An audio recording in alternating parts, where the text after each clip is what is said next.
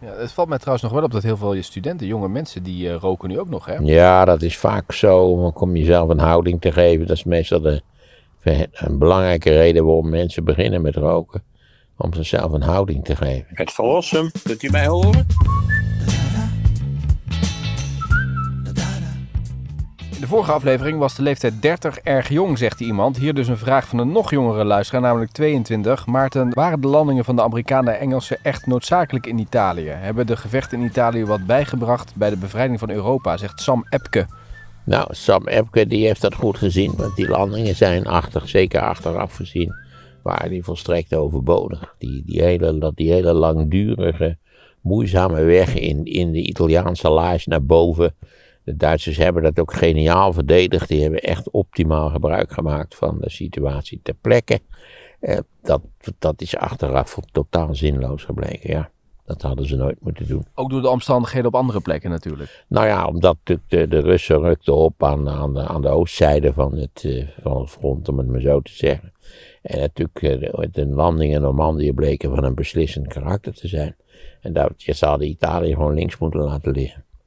Maar goed, stel dat het in Normandië anders was gelopen, dan was dit natuurlijk een soort ja, van... Ja, stel, kijk, dit, we komen nu op het zogenaamde iffy history terrein. Oh ja. daar valt heel weinig, leuk om daarover te speculeren, maar er valt heel weinig verstandigs over te zeggen. Ja.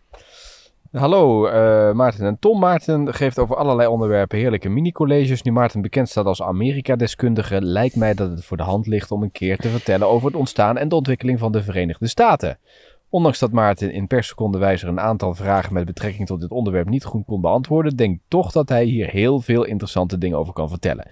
Dit is voor Maarten gelijk een mooie kans om revanche te nemen, zegt Barry Hulshoff. Barry Hulshoff, ik dacht dat die voetballer, hè, de Barry Hulshoff, maar kennelijk zijn er meerdere.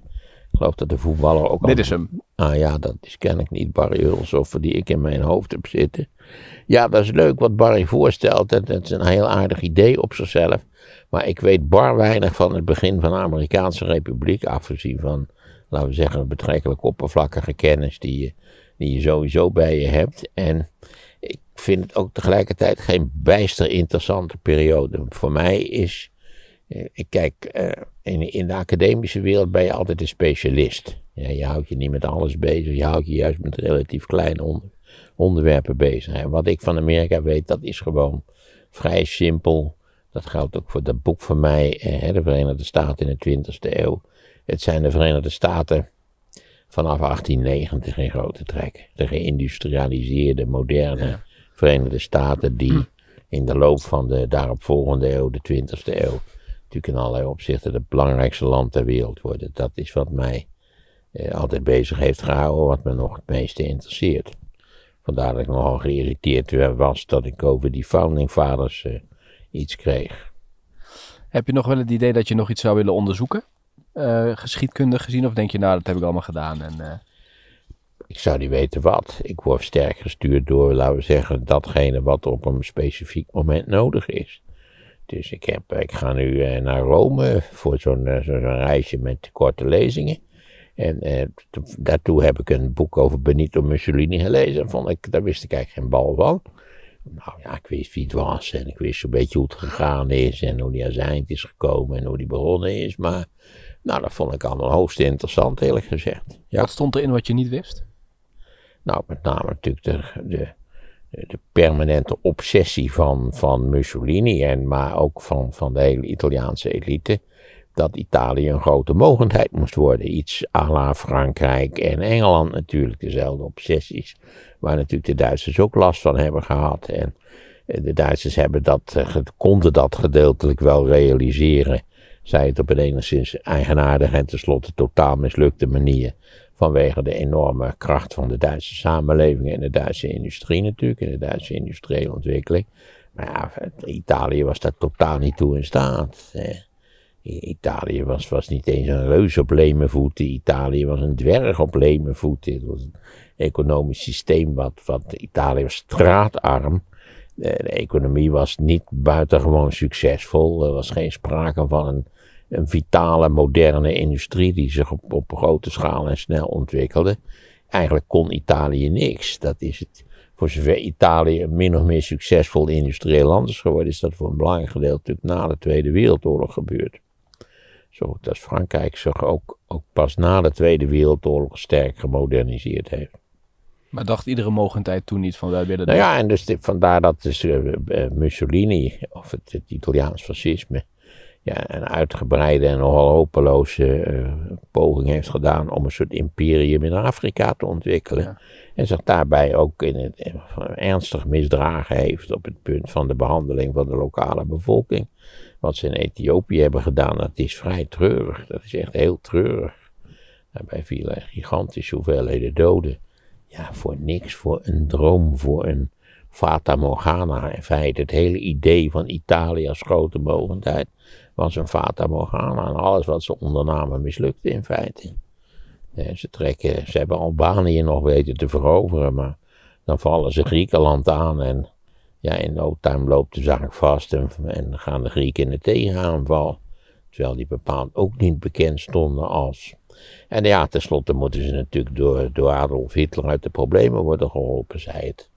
Dat ook Adolf Hitler natuurlijk tenslotte er niet in geslaagd is om blijvend aanwezig te zijn in Noord-Afrika. Maar je ziet, als de Italianen er dus in Noord-Afrika niets van terecht brengen. En, en dan stuurt eh, Hitler twee, twee Duitse panzerdivisies met rommel. En ja, dat, dat, is, dat is vechten van een totaal andere aard. Ja. Daar zie je aan hoe, ja, hoe verschillend de effectiviteit van een oorlogsmachinerie, van een oorlogs, van een militair apparaat kan zijn. Ja. En dat was het Italiaanse apparaat totaal niet. ja. De schilder gaat dan naar huis toe. Ja, de schilder gaat naar huis. is wel vroeg. Nou, ik denk dat was natuurlijk maar een heel beperkt klusje wat hij bij mij heeft gedaan. Ja, misschien is het voor de luisteraars wel leuk dat degene die mijn huis is verbouwd of is nog in verbouwing. Dit gaat om de laatste loodjes. Vandaag is de schilder bezig geweest, maar ja, het gaat alleen om de badkamer. Dus kennelijk heeft hij zijn klus heeft hij voltooid. Wat voor kleur is het? Gewoon wit? Allemaal wit, geloof ik. Gebroken wit, sympathiek wit, warm wit. Ik weet niet hoe je dat allemaal nog moet noemen tegenwoordig. Ja. Het was sympathiek wit, geloof ik. Ja. Niet, wit, niet zo wit als een ziekenhuis, dat je denkt, dan is het einde nabij. Maar het, het is eh, sympathiek wit. Humaan wit. Nou ja, Zou het mogelijk zijn dat Maarten een keer of een aantal keer spreekt over de onderwerpen die centraal staan bij het eindexamen geschiedenis komend jaar? ja, dat lijkt me hartstikke leuk, maar ik weet alleen niet wat... eh, Nee. Dit is een geschiedenisdocent, maar hoe zouden wij dat moeten weten? Ik zal even nog luisteren. Hij heeft iets ingesproken ook. Hoi Maarten. Met veel plezier luister ik altijd naar eh, je verhalen en naar alle andere interessante dingen die in de podcast worden verteld. Ik zelf sta voor de klas, ik geef geschiedenis. Mooiste vak natuurlijk wat er is. En de verhalen die je vertelde over het Duitse Rijk en over Duitsland na de Tweede Wereldoorlog waren zowel voor mij interessant als voor mijn leerlingen. Ik heb ze aanbevolen aan de leerlingen om ook die afleveringen terug te luisteren als extra informatie en gewoon als verdieping en verheldering naast de dingen die ik vertelde in de les. Nu was mijn vraag: is het ook mogelijk dat je een aantal afleveringen of een aantal ehm, momenten eh, kan spreken over andere examenonderwerpen voor het examen geschiedenis natuurlijk? Ehm, bijvoorbeeld over het Britse Rijk. De periode dat de Britten de kolonisatie over de huidige Verenigde Staten hadden. Of over de Britse tijd in India, toen India hun belangrijkste kolonie was. Ehm, en misschien ook wel een ander examenonderwerp, zoals Nederland ehm, na de Tweede Wereldoorlog van 18, 1948 tot 2008.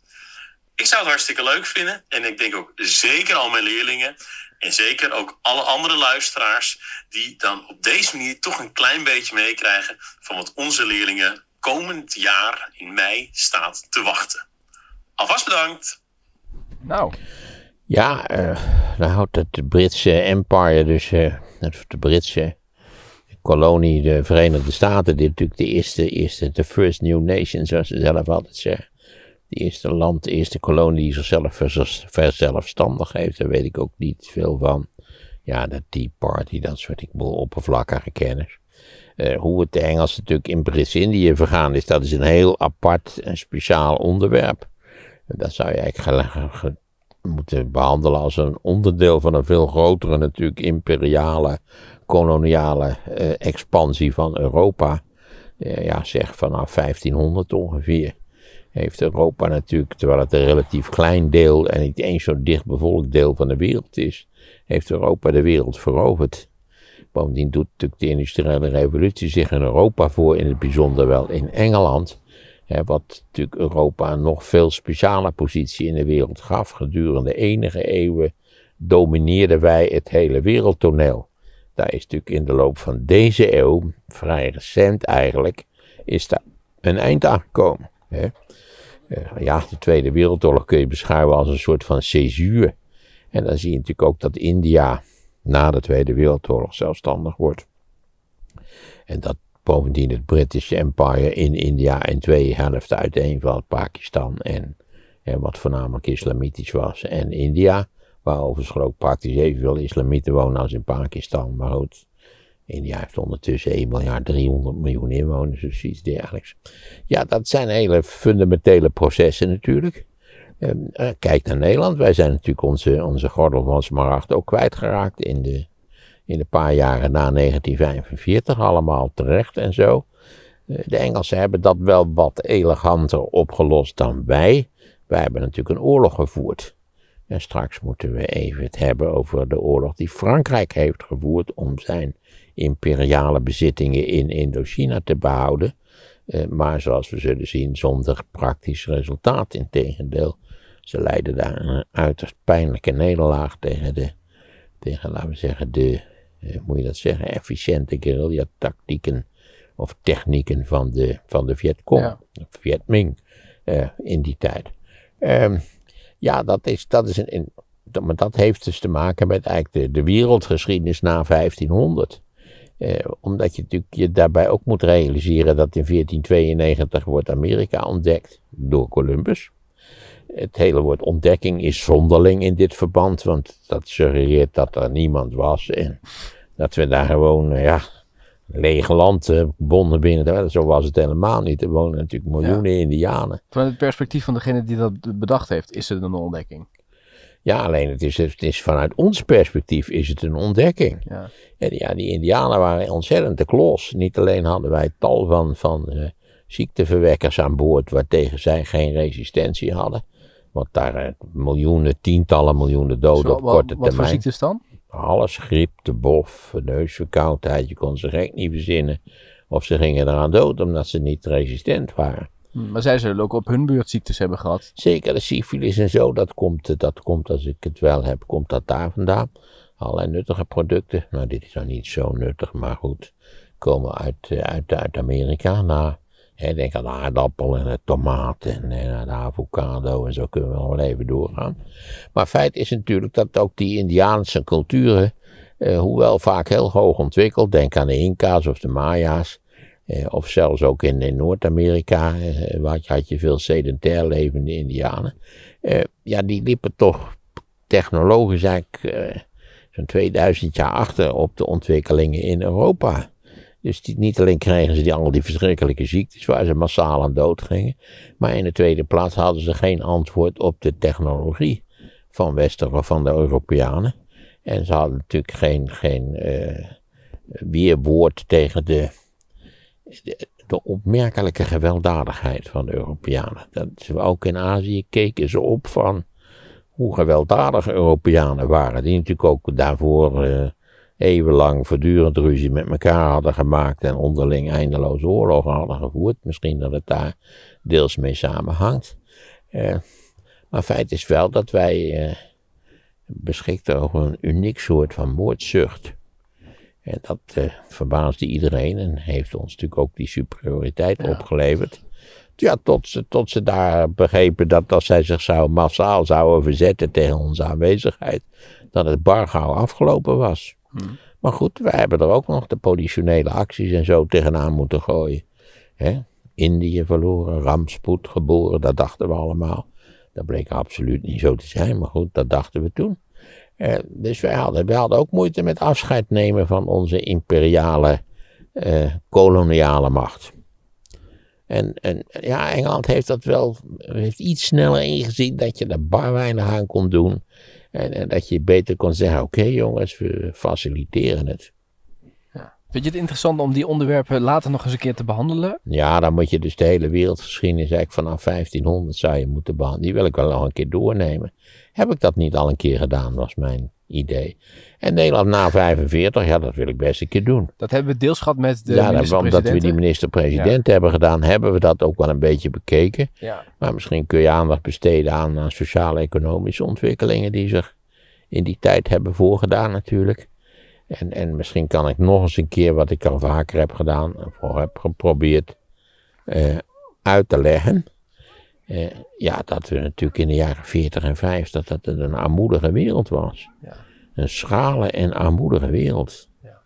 En dat we dat wel gemakkelijk vergeten zijn eigenlijk hoe dat was. En hoe, hoe voortreffelijk en ons hebben ontwikkeld in economisch opzicht. Nog een onderwerp idee. Evolutie van transport vanaf 1750 tot nu. Met treinen, boten, auto's, vliegtuigen en zeppelins. Ja, dat is een prachtig onderwerp natuurlijk. Maar die auto's hebben we alle feiten al besproken. Maar je zou wel iets kunnen doen natuurlijk aan... aan maar sinds wanneer wil die meneer dit horen? Ze- 1750. Waarom 1750? Vanaf 1750 tot nu, zegt hij. Oh, ja, je moet eigenlijk beginnen het, eh, ik weet het niet, met het, het koggerschip, zoiets iets, zou je dat in moeten doen?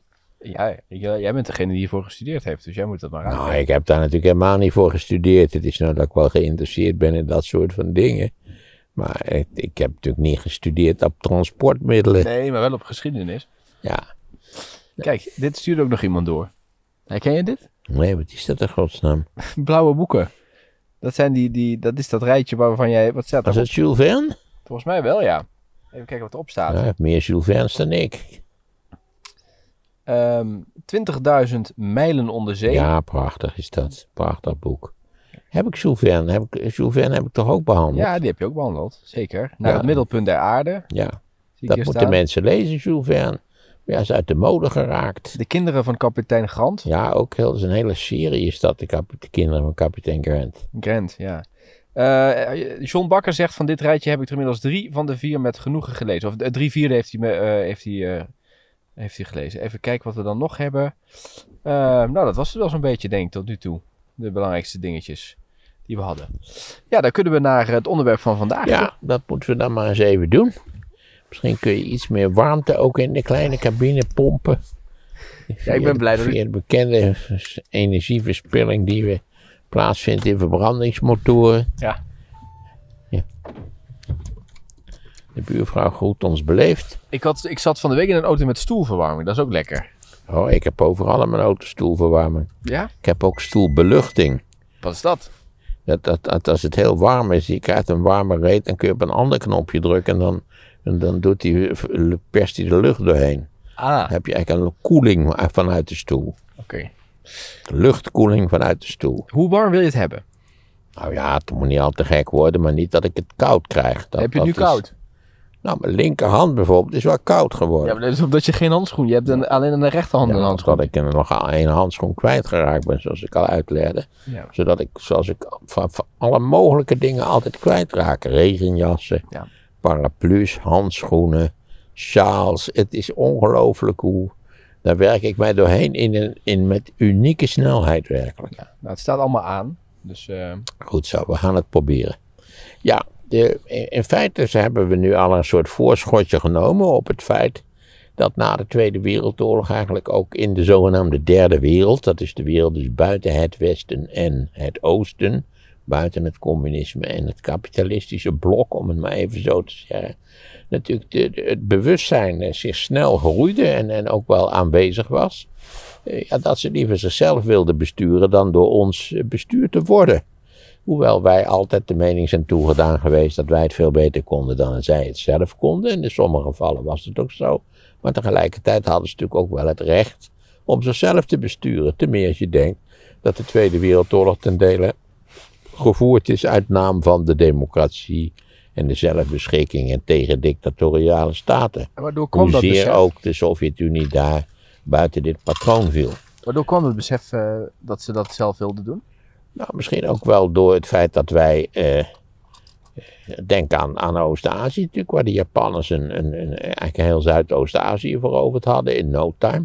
Waarbij natuurlijk de, de, de westerse mogendheden die daar vanouds koloniaal de, de baas waren, natuurlijk eigenlijk eh, het onderspit eh, dolven.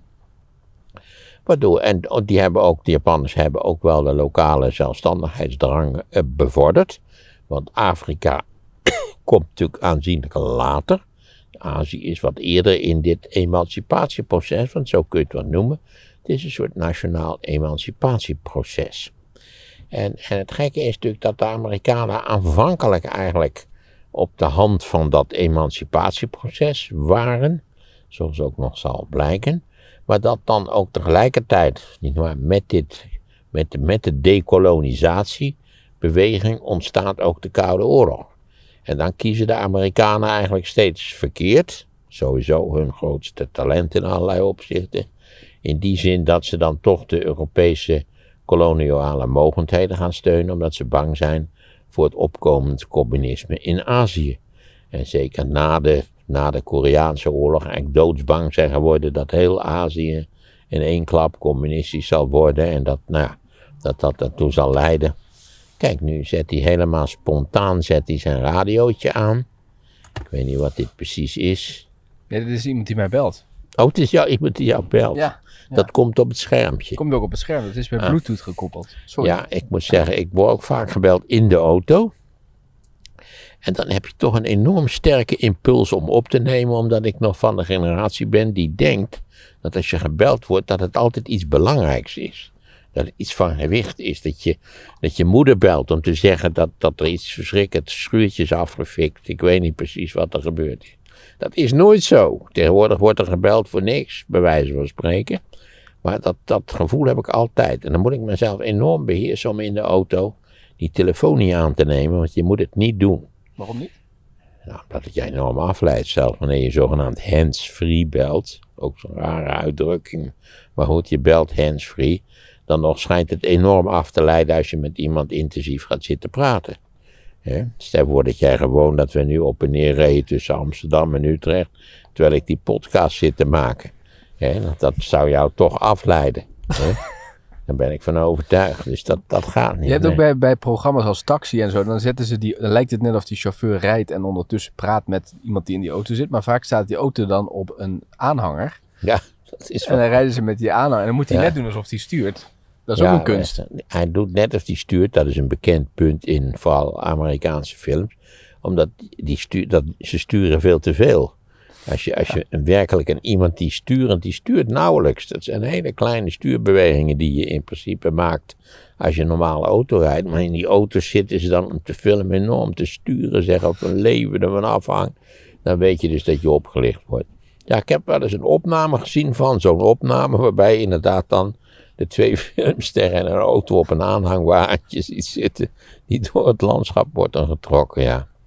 Natuurlijk vrij, eh, vrij het belachelijk. gebeurt hierbij met de SBS-programma's ook. Wendy van Dijk zit ook vaak in zijn auto. Oh ja? Ja, Het kan toch ook al met zo'n met zo'n GoPro-cameraatje. ja maar dan moet je Ik wel heb dus... dat meerdere malen bij de hand gehad. Dat Ja. werkt prima. Die die kwaliteit is ook heel redelijk van die dingen. Dat klopt, maar die presentatoren, dat zijn natuurlijk echte sterren. Dus die zeggen, nee, we gaan niet en rijden en ook nog eens een keer presenteren. Nee, daar hebben ze ook wel een beetje gelijk in. Maar ik heb dat toch gedaan, ook voor RTV Dat heb ik wel zoiets gedaan. Wij zijn afgedwaald van ons thema. Het ging namelijk om de dekolonisatie.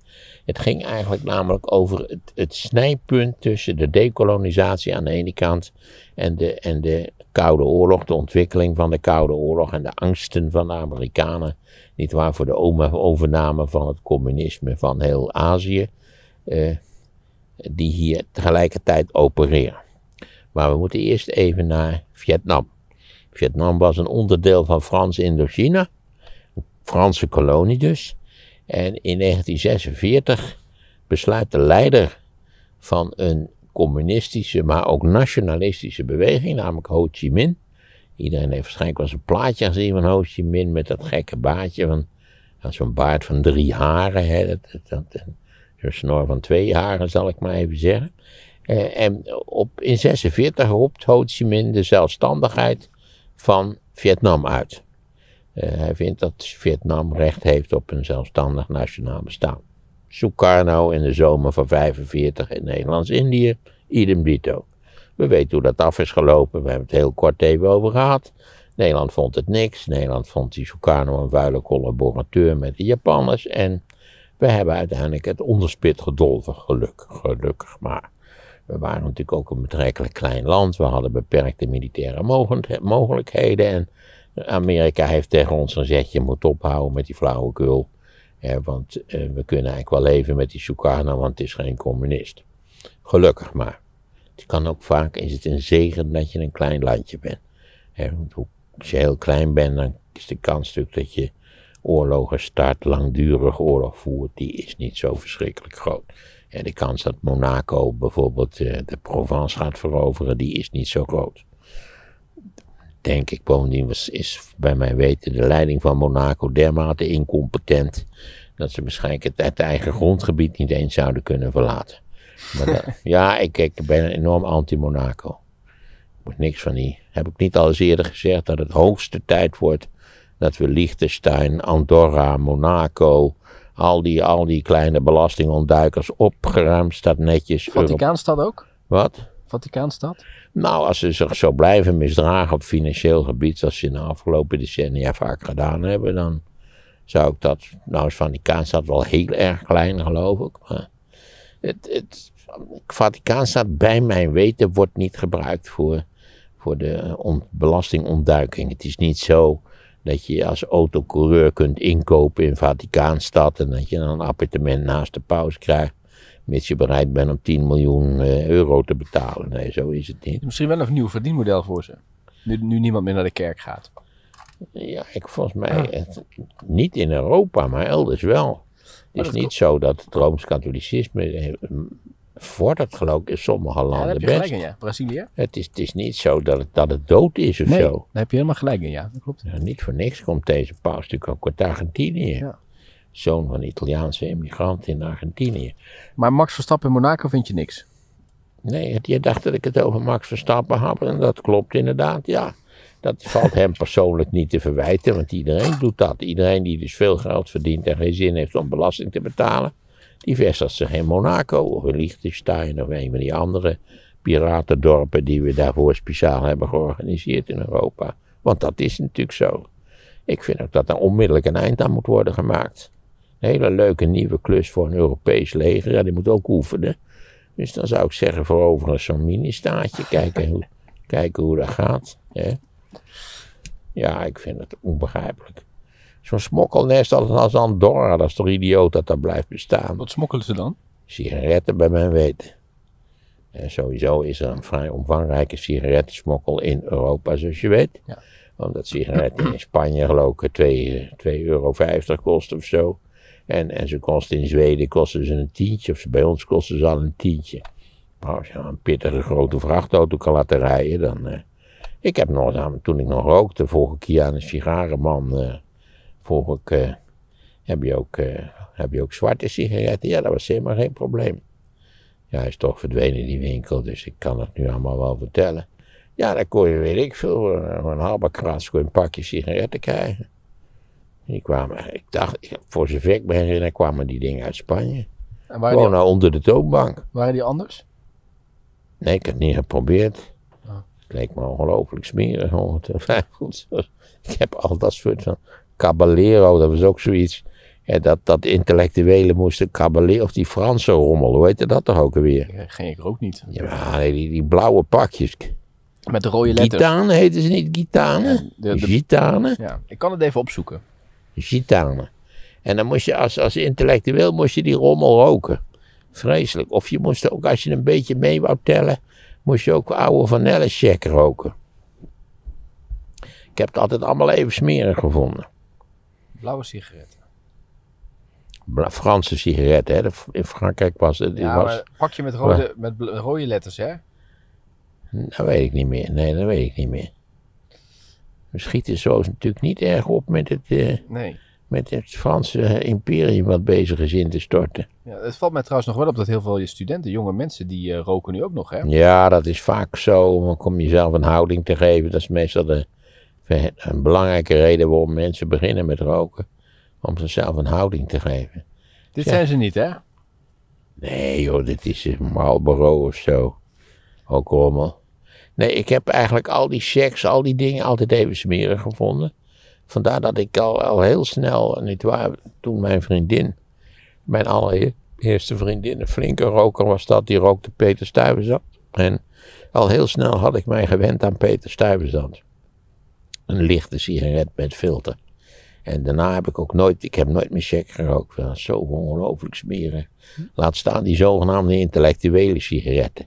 Die moest je dan van die Franse sigaretten moest je roken. Dat was je net.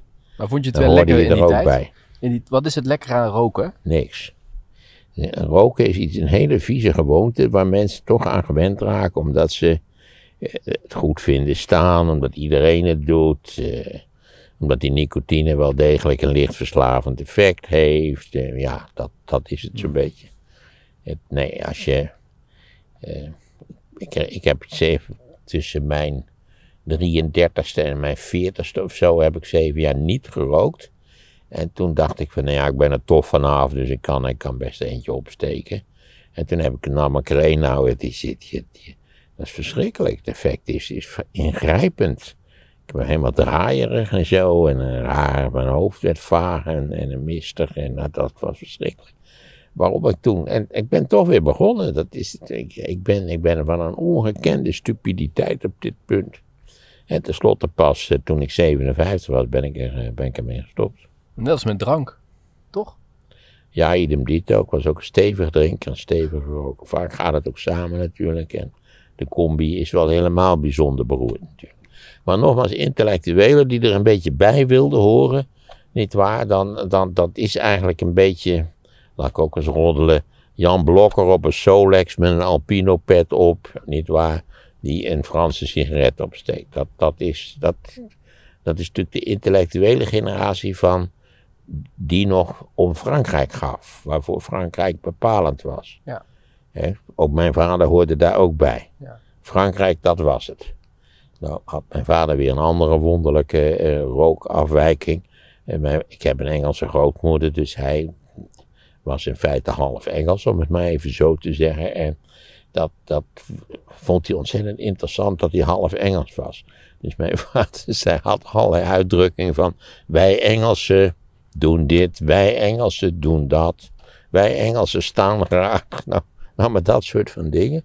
Waardoor hij altijd players rookte. Dat is een typisch Engelse sigaret met die, met die kapitein of met zo'n, die is het ook weer volgens mij een soort reddingsgordel voorop. Ja, Weet, zoiets was het in ieder geval.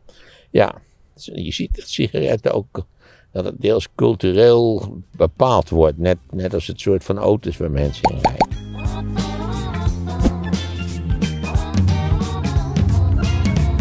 Opgeruimd staat netjes